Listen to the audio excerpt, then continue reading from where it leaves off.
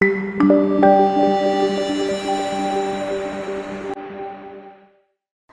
kính chào quý vị khán giả. Bảo Trân rất hân hạnh được đồng hành và gửi tới quý vị những thông tin cập nhật trên kênh YouTube của báo Pháp luật Thành phố Hồ Chí Minh. Ngay sau đây là những nội dung chi tiết. Theo Trung tâm Dự báo Khí tượng Thủy văn Quốc gia, trong chiều tối nay mùng 10 tháng 11, thời tiết cả ba miền đều khô ráo, cảm giác khá nóng với mức nhiệt cao nhất khoảng từ 32 đến 33 độ, riêng Nam Bộ có nơi trên 34 độ. Tới đêm, thời tiết Bắc Bộ và Bắc Trung Bộ có khả năng mưa vài nơi với mức nhiệt thấp nhất từ 23 đến 24 độ, vùng núi có nơi dưới 18 độ. Nam Bộ về đêm cũng vẫn có khả năng có mưa vừa từ 10 đến 30 mm, cục bộ có nơi mưa to trên 50 mm. Thời gian này, Nam Bộ cũng bắt đầu kết thúc mùa mưa dần. Nhiều tỉnh thành đã chấm dứt mùa mưa, các tỉnh thành còn lại cũng đang bước vào mùa khô. Sang tới sáng mai, 11 tháng 11, hình thái thời tiết ngày nắng với nền nhiệt trung bình cao trên 32 độ C vẫn sẽ tiếp diễn trên cả nước.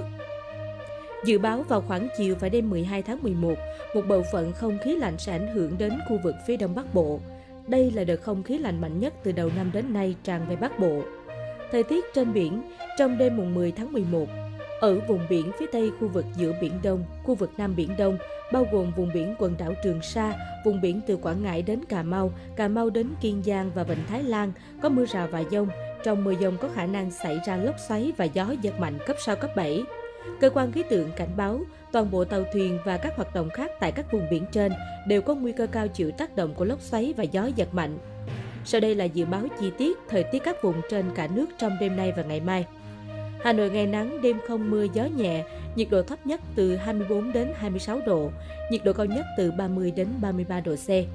Phía Tây Bắc Bộ ngày nắng, đêm mưa vài nơi, gió nhẹ, nhiệt độ thấp nhất từ 22 đến 25 độ C, khu vực Tây Bắc từ 18 đến 21 độ C, nhiệt độ cao nhất từ 29 đến 32 độ C, có nơi trên 32 độ C. Phía Đông Bắc Bộ ngày nắng, đêm mưa vài nơi, gió nhẹ, nhiệt độ thấp nhất từ 23 đến 26 độ C, vùng núi có nơi dưới 23 độ C, nhiệt độ cao nhất từ 30 đến 33 độ C, có nơi trên 33 độ C. Khu vực từ Thanh Hóa đến Thừa Thiên Huế ngày nắng, chiều tối và đêm mưa rào và dông vài nơi, gió nhẹ, nhiệt độ thấp nhất từ 23 đến 26 độ C, nhiệt độ cao nhất từ 30 đến 33 độ C. Khu vực từ Đà Nẵng đến Bình Thuận sáng mưa rào rải rác có nơi có dông, sau mưa rào và dông vài nơi, gió nhẹ, trong mưa dông có nguy cơ xảy ra lốc xét và gió giật mạnh. Nhiệt độ thấp nhất từ 23 đến 26 độ C, nhiệt độ cao nhất từ 29 đến 32 độ C. Khu vực Tây Nguyên mưa rào và dông vài nơi, chiều tối và mưa rào rải rác có nơi có dông gió nhẹ. Trong mưa dông đề phòng lốc xét và gió giật mạnh. Nhiệt độ thấp nhất từ 20 đến 23 độ C, nhiệt độ cao nhất từ 29 đến 32 độ C. Khu vực Nam Bộ mưa rào và dông vài nơi, chiều và tối mưa rào và dông rải rác, cục bộ có mưa vừa mưa to gió nhẹ. Trong mưa dông cảnh báo lốc xét và gió giật mạnh. Nhiệt độ thấp nhất từ 24 đến 27 độ C, nhiệt độ cao nhất từ 31 đến 34 độ C, có nơi trên 34 độ C. Những thông tin vừa rồi cũng đã khép lại chương trình của chúng tôi. Cảm ơn các bạn đã quan tâm theo dõi. Và đừng quên chúng tôi cập nhật rất nhiều thông tin mới nhất ở tất cả các khung giờ trong ngày. Xin kính chào và hẹn gặp lại.